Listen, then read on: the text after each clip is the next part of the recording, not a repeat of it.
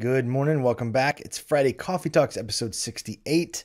We have a wonderful cup of coffee today.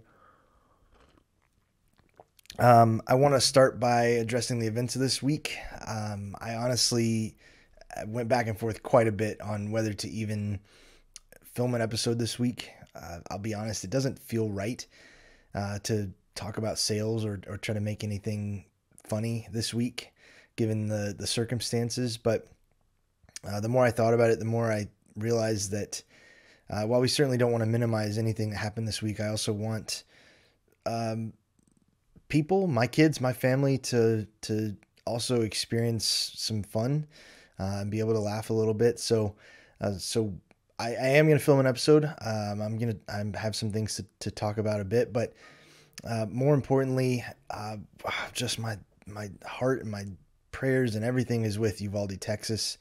Um, it has been profoundly impacting for me as a father to see things unfold. Um, and it's it's just heartbreaking. It's I have had trouble sleeping this week as I think about these kids. Um, it's terrible, and I'll be honest.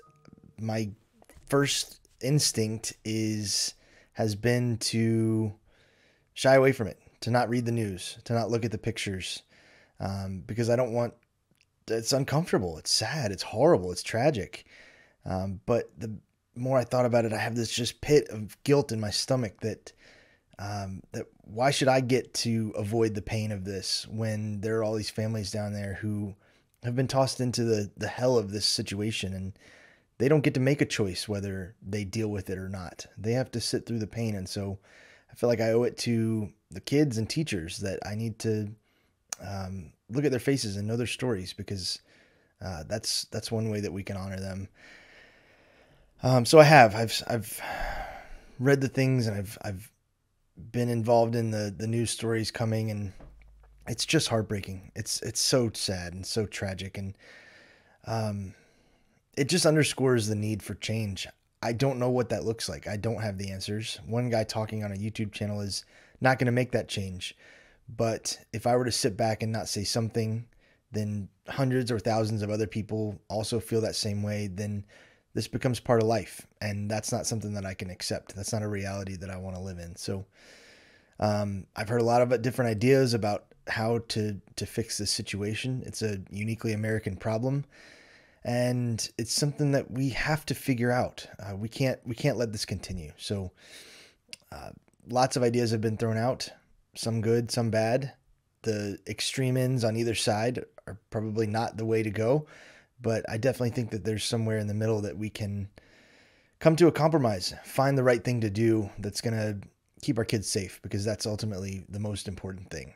Politics, power, money, none of that matters. It's more it, we have to keep the kids safe.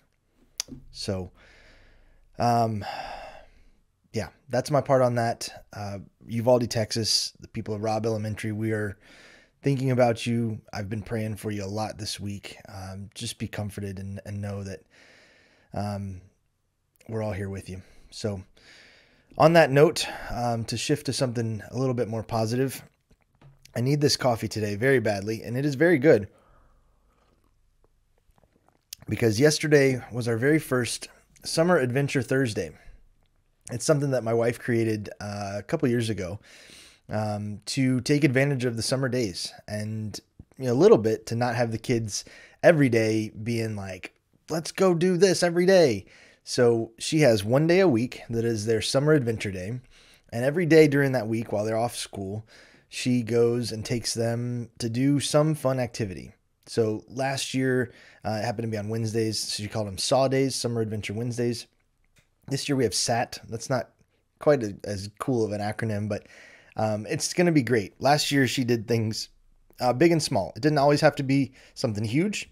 So there were days where she went to the zoo, I think was one of them. There were days where she went and did um, oh gosh i can't remember but there were also days where they went and got lunch at a fast food restaurant like got to sit and enjoy some food and go and do i don't even remember so it, it doesn't have to be extravagant to give you an example yesterday was the first one of this year they started off the day by going to a new bookstore So they went and they checked out this new bookstore. It has a cafe, so they got to get their little drinks. Fally got her um, hot chocolate, Parker with his smoothie that Savannah ended up drinking most of. They got to pick out some new books. Um, Parker is an avid reader. The guy can consume books like nothing else. And so they all got to pick out some new books that they wanted to read. Um, then they went and got lunch yesterday, and we capped off the day by uh, doing a little indoor camping. So that was my mistake it was fun. Don't get me wrong, it was fun. We made s'mores, we roasted some marshmallows and made s'mores, ate them on the front porch. Happened to be pouring down rain all day yesterday, so we set up the tent in the basement and uh, we all set out to camp down in the basement. Uh, Parker made it, I don't know, about an hour before he went up to his bed. Uh, but Fallon and I did sleep down here. Uh, we slept on the floor. I slept on the floor, and it was a tough night of sleep.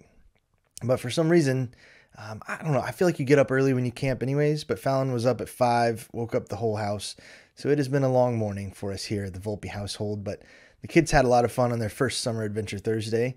I, we have some big plans for this summer. We're gonna grab our my little nieces. We're gonna go and do a lot of fun things. Um, Mandy will do a lot of it during the day, and, and I I'll get to join in some uh, some evenings and things after work. But um, I love it. I think it's a great idea. The kids definitely look forward to it. It gives them a thing each week that they can be uh, bought into of coming up with ideas, fun things they want to do, um, and, and, you know, keep the activities in the summer fun where they're not just sitting around on their iPads or watching Netflix or something like that.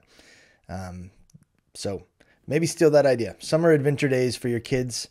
Um, I hope y'all have a, a better week next week than this one. Um, enjoy some coffee. Thanks for joining us. I do have a great episode coming next week. I have an interview lined up that uh, I think is going to be really fun. So don't miss episode 68 next week. We'll be back on Friday. Thanks. See y'all next week.